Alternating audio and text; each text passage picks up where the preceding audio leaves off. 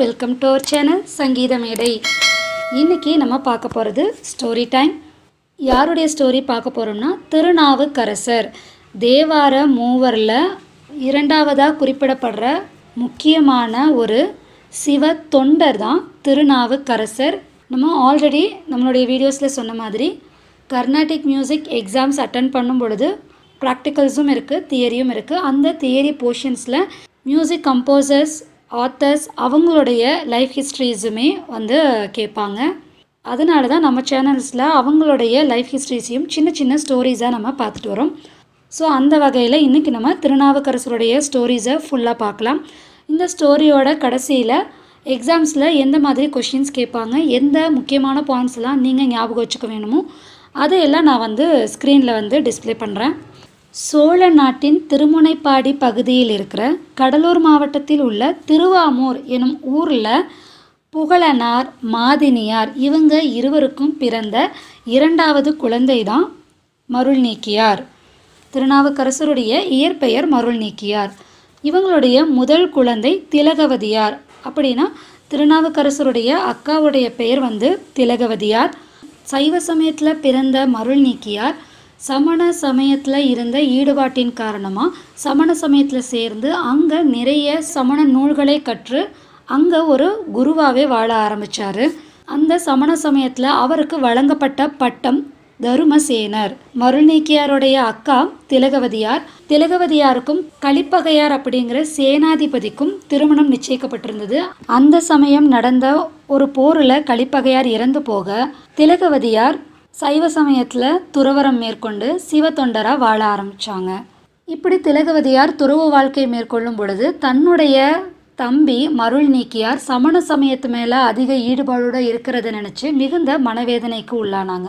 அந்த சமயம் மருள் நீக்கியாருக்கு சூளை நோய் ஏற்பட்டு தீராத வயிற்று வழியால் அவதிப்பட்டார். அப்போ அந்த சமண சமய துறவிகள் எல்லாம் சேர்ந்து நிறைய மருத்துவங்கள் செய்தும் அவருடைய சூளை நோயை சரி செய்ய முடியல. அந்த சமயம் மருள் நீக்கியார் தன்னுடைய அக்காவான திலகவதியார் கிட்ட வராங்க. அப்போ திலகவதியார் மருள் நீக்கியாரை அழைச்சிக்கிட்டு திருவதிகை வீரட்டானேஸ்வரர் சிவ ஆலயத்துக்கு கூட்டிட்டு போறாங்க.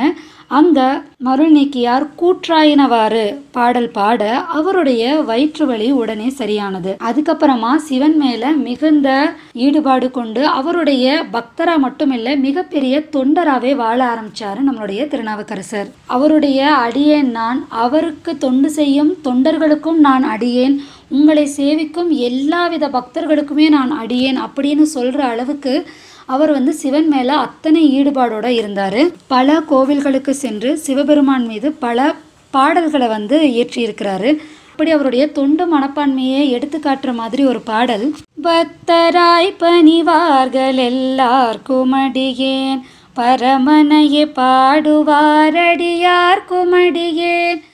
பக்தராய் பணிவார்கள் எல்லாருக்கும் அடியேன். பரமனையே பாடுவார் அடியார்க்கும் அடியேன். முப்போதும் திருமேனி தீண்டுவார் கடியேன். முழு நீர பூசிய முனிவர்க்கும் அடியேன். இந்த மாதிரியான வரிகள் அமைச்ச பாடல்களை அவர் எழுதியிருக்கிறார். இதுல இருந்து நமக்கு என்ன தெரியுதுன்னா அவர் சிவனுக்கு மட்டும் தொண்டு செய்யற ஒரு அடியேனா தன்னை வந்து நினைச்சுக்கல. சிவனுக்கு தொண்டு செய்கிற தொண்டர்களுக்குமே நான் வந்து அடிமைப்பட்டவன் கடமைப்பட்டவன். அந்த அளவுக்கு வந்து சிவன் மேலே பக்தி கொண்டவராக இருந்தார் திருநாவுக்கரசர். அப்படி பல திருக்கோவில்களுக்கு சென்று பல திருத்தலங்களில் இருக்கிற சிவபெருமான் மீது பல பாடல்களையும் பாடியிருக்கிறாரு. அந்த இடத்துல பல அற்புதங்களையும் நிகழ்த்தியிருக்கிறாரு. திருநாவுக்கரசரும் திரு ஞான சம்பந்தரும் ஒரே காலத்தில் வாழ்ந்தவங்க. திருநாவுக்கரசர் தன்னுடைய அறுபத்தஞ்சு வயசு வரைக்கும் சமண சமயத்திலிருந்து அறுபத்தஞ்சு வயசுக்கு மேலே தான் சைவ சமயத்துக்கு வந்தார். அப்படி சமண சமயத்தை விட்டு சைவ சமயத்துக்கு வந்த உடனே சமண சமயத்தில் இருந்த பல்லவ மன்னர் திருநாவுக்கரசருக்கு நிறைய வந்து இன்னல்கள் கொடுக்குறாங்க. திரும்ப வந்து சமண சமயத்துக்கு சேரணும் அப்படிங்கிறதுக்காக சமண சமயத்திலிருந்து அவர்களுக்கு நிறைய இன்னல்கள் வந்து நடக்குது. இந்த நிறைய கஷ்டங்களையும் அவர் சிவபெருமான வழிபட்டு சிவ அருளோட எல்லா தடைகளையும் தாண்டி வராரு.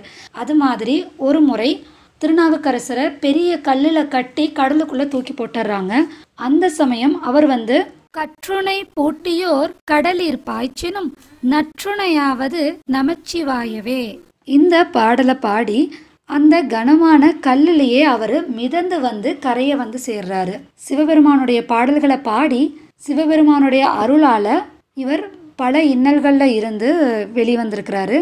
இப்படி திருநாவுக்கரசர் அறுபத்தி அஞ்சு வயசில் ஒரு பழுத்த பழம்னு சொல்லுவாங்க இல்லையா? அந்த மாதிரி வயதான காலத்திலையும் பல திருத்தலங்களுக்கு சென்று சிவனை வேண்டி பல பாடல்களை பாடி பல அற்புதங்களையும் செஞ்சுருக்கிறாங்க. அந்த காலத்தில் நிறைய போக்குவரத்து வசதிகள் எல்லாம் இல்லை இல்லையா? அப்போது நடந்தே போய் தான் ஒரு ஒரு கோயில்களுக்காக போவாங்க. அந்த மாதிரி அவர் வேதாரண்யத்தில் இருக்கிற ஒரு கோவிலுக்கு போகும் பொழுது பல்லக்கில் வந்து திருஞான சம்பந்தரை வந்து கூட்டிகிட்டு போயிட்டு இருக்கிறாங்க.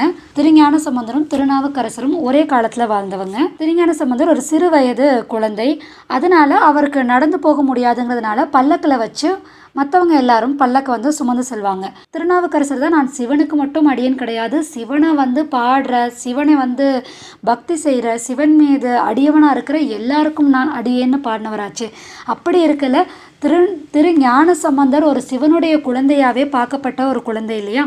அதனால் திருநாவுக்கரசருக்கு திருஞான சம்பந்தர் பல்லக்கில் வர்றாருன்றதை தெரிஞ்ச உடனே ஒரு திருஞான சம்பந்தரை பார்க்கறதுக்கு போறாரு. அப்போ அவரே வந்து அந்த பல்லக்கையும் சுமந்துக்கிட்டு போறாரு. ஆனால் உள்ள இருக்கிற சம்பந்தருக்கு திருநாவுக்கரசர் தன்னை சுமந்துட்டு வராருங்கிறது தெரியாது. அப்போ ஒரு இடத்துல இலைப்பாடுறதுக்காக பல்லக்கில் இருந்து இறங்கி வரும்பொழுதுதான் இவ்வளவு நேரம் திருநாவுக்கரசர் தான் தன்னை சுமந்துட்டு வந்திருக்கிறாரு அப்படிங்கிறத தெரிஞ்சு சம்பந்தர் அவர்கிட்ட மிகுந்த மன்னிப்பு கேட்குறாரு அந்த நேரத்தில் இருவருக்குமே அதிகபட்சமான நட்பு வந்து ஏற்படுது.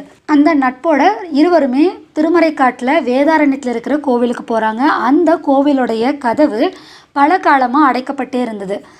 அப்படி அடைக்கப்பட்டிருந்த கதவை நம்ம திறக்கும் பொழுது ஏதாவது விரிசல்கள் ஏற்பட்டு கோவிலுடைய சுவர்கள் இடிஞ்சு விழுகலாம் அப்படிங்கிறதுக்காக கதவை வந்து பாடல்கள் பாடி தானாக திறக்க வைக்கணும் அப்படின்றதுக்காக திருநாவுக்கரசர் நிறைய பாடல்களை பாடினாரு. நிறைய பாடல்கள் பாடினதுக்கப்புறம் திருக்கதவு தானாகவே திறந்தது. அதுக்கப்புறமா பக்தர்கள் எல்லாரும் சேர்ந்து சிவனை வழிபட்டுட்டு பாடல் பாடி திறந்த கதவை திரும்ப பாடல் பாடி தானாக மூட வைக்கணும் அப்படிங்கிறதுக்காக திருஞான சம்பந்தர் வந்து பாடல் பாடினாரு. திருஞான சம்பந்தர் ஒரே ஒரு பாடல் பாடின உடனே அந்த திருக்கதவு தானா மூடிடுச்சு. இதை பார்த்த திருநாவுக்கரசருக்கு பெரிய ஆச்சரியம் அப்புறம் அதிர்ச்சியும் கூட அவர் மயங்கி கீழே விழுந்துட்டாரு. அதுக்கப்புறமா அவர் மயக்கம் தெளிஞ்சதுக்கப்புறம் சம்பந்தர் அவர்கிட்ட கேட்குறாரு என்ன ஆச்சு? எதுக்காக நீங்கள் வந்து திடீர்னு மயக்கம் அடைஞ்சிட்டீங்க? அப்படின்னு கேட்ட உடனே திருநாவுக்கரசர் வந்து தன்னுடைய ஆச்சரியத்தை வந்து அவர்கிட்ட சொல்கிறாரு என்னென்னா நான் இந்த கதவை திறக்கிறதுக்காக எத்தனை பாடல் பாடினேன். எத்தனையோ பாடல் பாடினதுக்கு அப்புறம்தான் எனக்காக மனசு இறங்கி அந்த சிவபெருமான் கதவை திறந்து விட்டார். ஆனால் நீங்கள் ஒரே ஒரு பாட்டு பாடின உடனே உங்களுக்காக சிவபெருமான் ஒரே ஒரு பாடலில் தன்னுடைய கதவை மூடிக்கிட்டார் இல்லையா? அப்போ உங்களுடைய பக்தி எவ்வளோ பெரிய பக்தியாக இருக்கும்? அதை நினச்சி எனக்கு ரொம்ப ஆச்சரியமாக இருந்தது. சிவபெருமான் உங்கள் மேலே எவ்வளோ அன்பு வச்சிருக்கிறாரு அப்படின்னு தன்னுடைய எல்லா ஆச்சரியத்தையுமே சம்பந்தர் கிட்ட சொல்கிறாரு அதை கேட்டுட்டு சம்பந்தர் எவ்வளோ பணிவான ஒரு பதில் சொன்னார் தெரியுங்களா? அப்படி இல்லை அப்பரே அப்படின்னாராமா அதாவது அப்பர் அப்படிங்கிற பெயரை வந்து திருஞான சம்பந்தர் திருநாவுக்கரசரை அப்பர் அப்படின்னு அழைச்சனால தான் பிற்காலத்தில் அப்பர் அப்படின்ற பேரோட திருநாவுக்கரசர் அழைக்கப்பட்டார். சரி இந்த இடத்துல திருஞான சம்பந்தர் எப்படி ஒரு பணிவான பதில் சொன்னார் தெரியுங்களா? இல்ல நடந்த நிகழ்வை நீங்க தப்பா புரிஞ்சுக்கிட்டீங்க. நீங்க நிறைய பாடல் பாடிட்டு இருந்த உடனே உங்களுடைய பாடலுடைய வார்த்தைகள்ல மெய் மறந்து போய் சிவபெருமான் கதவை திறக்கிறதுக்கே மறந்துட்டு ரொம்ப நேரம் வந்து உங்கள் பாடலை ரசிச்சிட்டு இருந்திருக்கிறாரு. அதுக்கப்புறமா ஞாபகம் வந்து தான் திருக்கதவை திறந்து விட்டுருக்கிறாரு. ஆனால் நான் ஒரு பாட்டு பாடின உடனே உன் பாட்டு போதுமப்பா அப்படின்னு சொல்லிட்டு திருக்கதவை தானா மூட வச்சிட்டாரு அப்படின்னு சொன்னாராமா. இந்த பதிலை வந்து அவர் சொல்லியிருக்கிறாரு.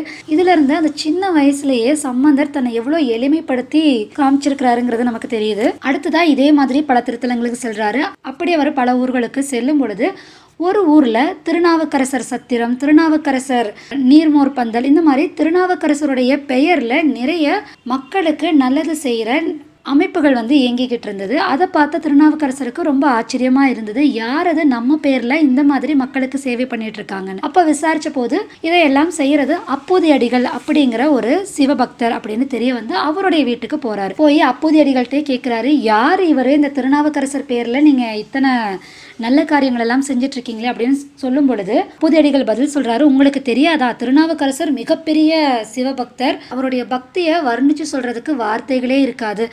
மிகப்பெரிய பக்தர் நான் அவருடைய பக்தர்.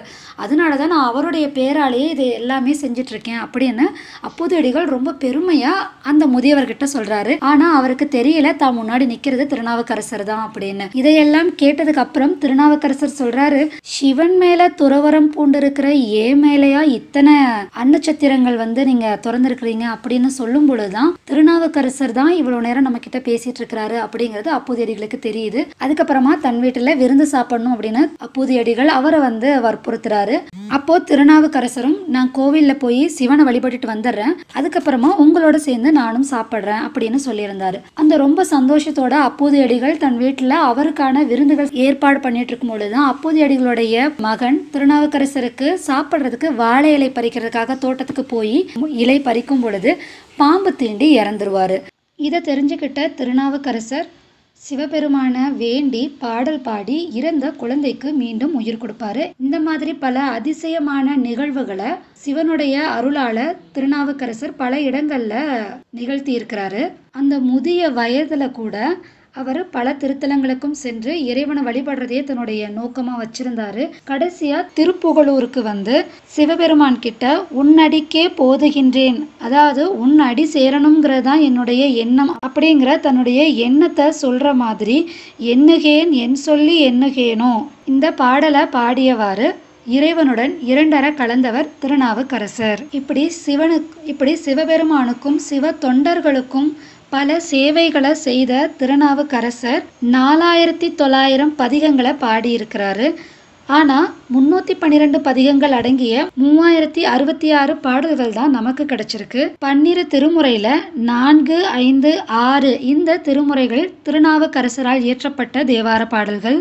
இவருடைய பாடல்களுடைய அமைப்பு ரொம்ப எளிமையாகவும் இனிமையாகவும் இருக்கும். அதனாலேயே இவரை தாண்டக வேந்தர் அப்படின்னும் அழைப்பாங்க. இந்த திருநாவுக்கரசர் ஸ்டோரியில் நம்ம எக்ஸாமுக்கு ஞாபகம் வச்சுக்க வேண்டிய விஷயங்கள் என்னன்னா திருநாவுக்கரசரும் திருஞான சம்பந்தரும் சமகாலத்தில் வாழ்ந்தவங்க. திருநாவுக்கரசருடைய இயற்பெயர் மருள் நீக்கியார் திருவாமூரில் புகழனார் மாதினியார். இவங்களுக்கு பிறந்த ரெண்டாவது குழந்தை மருள் நீக்கியார் இவங்களுடைய அக்கா பெயர் திலகவதியார். திருநாவுக்கரசர் சமண சமயத்தில் இருந்தபோது அவருக்கு வழங்கப்பட்ட பட்டம் தருமசேனர். திருநாவுக்கரசருக்கு சூளை நோய் ஏற்பட்ட போது அவர் கூற்றாயினவாறு அப்படிங்கிற முதல் பாடல் பாடி சைவ சமயத்தை பின்தொடர ஆரம்பிக்கிறாரு. பனிரெண்டு திருமுறையில் நான்கு ஐந்து ஆறாவது திருமுறை திருநாவுக்கரசரால் இயற்றப்பட்டது. இறுதியாக அவர் பாடின பாடல் என்னுகேன் என் சொல்லி என்னுகேனோ இந்த திருநாவுக்கரசருடைய ஸ்டோரி மூவிஸ்லையும் நிறையா வந்திருக்கு. ரொம்ப இன்ட்ரெஸ்டிங்காக சிவாஜி கணேசன் சார் நடித்த திருவருட்செல்வர் இந்த மூவியில் இந்த திருநாவுக்கரசருடைய ஸ்டோரியை ஃபுல்லாக வந்து விஷுவலைஸ் பண்ணியிருப்பாங்க ரொம்ப அழகாக வந்து அந்த படத்தில் காமிச்சிருப்பாங்க. ஸோ இன்னும் கூட திருநாவுக்கரசரை பற்றி டீட்டெயிலாக தெரிஞ்சுக்கணும்னு நினைக்கிறவங்க அந்த படத்தையும் பாருங்கள் ஸோ இந்த ஸ்டோரி உங்களுக்கு புரிஞ்சிருக்கும்னு நினைக்கிறேன் பிடிச்சிருக்கணும்னு நினைக்கிறேன். இந்த ஸ்டோரி பிடிச்சிருந்தா லைக் பண்ணுங்கள் உங்கள் ஃப்ரெண்ட்ஸ்க்கும் இந்த வீடியோவை ஷேர் பண்ணுங்கள் நம்ம சங்கீத மேடை சேனலை சப்ஸ்கிரைப் பண்ணுங்கள் தேங்க்யூ